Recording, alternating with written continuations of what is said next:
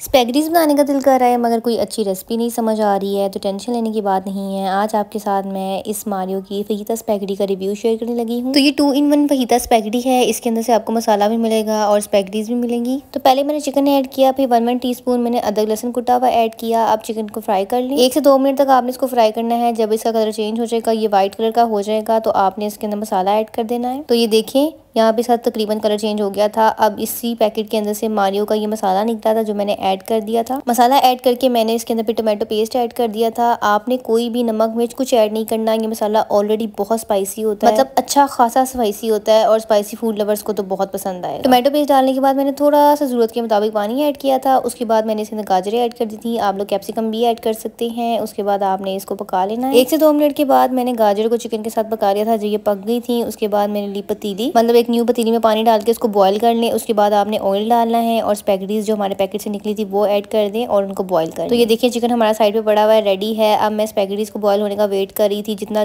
पीछे टाइम दिया होता है उतना ही आपने देना होता है तो उसके बाद मैंने चेक कर लिया था खा के चेक कर ले नहीं तो उंगली से इस तरह से आप लोग काट के चेक कर सकते हैं। उसके बाद आपने इसको ठंडे पानी से वॉश कर लिया ऑयल भी हम लोग इसलिए डालते हैं ताकि ये स्पैगरी चिपके ना और ठंडे पानी से इसलिए धो लेते हैं ताकि ये अलग हो जाए। मतलब चिपके ना और बड़ी खिली खिली सी हमारी स्पैगरीज तो ये बास्केट आप लोग ले लें। इसमें स्पैगरीज या पास्ता जो भी आप बॉयल कर रहे होते हैं उसको बॉयल करने के बाद निकाल लिया करें। उसके बाद आप लोग पानी से इसको धो लिया करें ताकि खिली खिली से आपका जो पास्ता फिर मैंने जो चिकन था हमने तैयार किया था उसके अंदर स्पैगरीज डाल के अच्छे से मिक्स कर लिया था। और ये चिकन का फ्लेवर इतना मज़े का बनता है। मतलब कोई मसाला वगैरह कुछ ऐड करने की ज़रूरत नहीं है जस्ट आपने इसके अंदर चिकन में अपना यूज़ करना है मसाला और टोमेटो पेस्ट आपने बनाना है बस। और रिव्यू मैं आपको यही दूँगी कि अगर आपने ट्राई करना है तो ज़रूर करें स्पाइसी होता है बड़ा मज़े का मुझे टेस्ट लगता है जब दिल करता है ना कभी कभी क्विकली बनाने का तो हम लोग ये बना लेते तो यही थी आज की वीडियो आई होप आपको अच्छी लगी होगी अल्लाह हाफिज़।